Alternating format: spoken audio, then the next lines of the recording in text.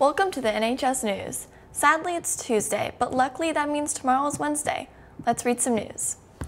With it being French Week, here is now a short trivia question from Madame Tharp Taylor. Bonjour encore. In honor of National French Week, today's question number two. What African country, French speaking African country, is known for its gorilla population? If you think you know the answer, stop by Madame Thorpe Taylor's room for a prize. Do it quickly though, only the first 10 people will win. The Harvey Awards are the biggest high school journalism awards in the state. Our Millstream won sports coverage and came in second for academic coverage. Congratulations to winners Lauren Patrick, Haley Durham, Hope Linus, and Jenna Schweikert. Also, Kendall Reynolds, Jane Geong, Bergen Sabrowskis, Nicole Eldridge, Victoria Flanagan, and Kate Drain. Good job, Millers.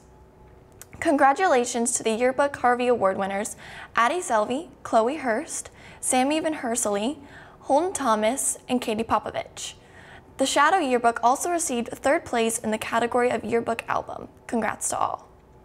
And to wrap up the Harvey Awards, Mary Sabis placed both first and third in broadcast writing, with John Page placing second.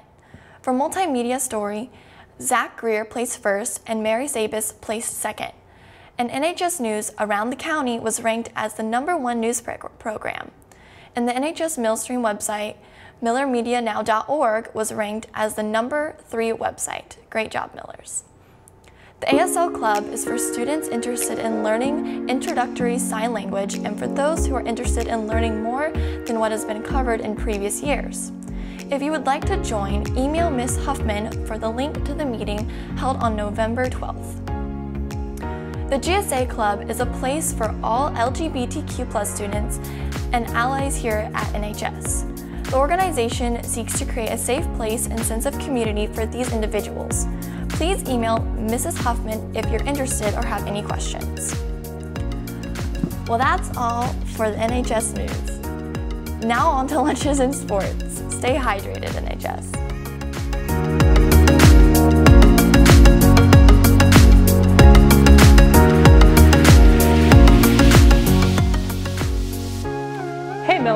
Did you know that there are 8,000 sports in the world? Well, that's what Google says. Anyways, let's get into talking about three of those here at NHS.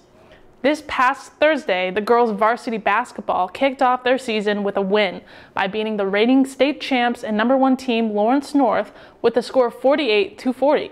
Great job to Ashlyn Shade, who scored 21 points, Brooklyn Smitherman with five, and Mallory Miller with six points and five assists. On Thursday, the, tw the 12th, they will be traveling to Mount Vernon High School at Fortville to compete. Good job and good luck, varsity girls. Our girls' JV basketball team also played Lawrence North this past Thursday. The Millers suffered a tough loss, 47 to 41. Leading the Millers with 23 points was Ava Shoemaker. Helping the Millers with six points each was Carly Motts and Jocelyn Love. You can catch your JV Millers back in action November 20th at Brownsburg. Remember last week's long sports segment? Well, here is the second half of all of our amazing All HCC participants. Boys soccer named Palmer Alt, Spencer Holland and Gabe Engel, Drew Barnes, Drew Cochran, and Braden Dahl. Girls soccer named Ava Bramlett, Jenna Chatterton, Sarah Kyle, McKenna Malloy, JC Hoopengarner, and Grace Tasky.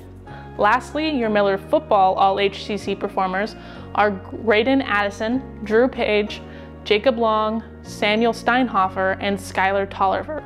Great job to all of you. Way to be a Miller. Another day, another show, and another amazing opportunity to tell you to please cover your nose when you wear a mask. Thank you. Have a great day, NHS.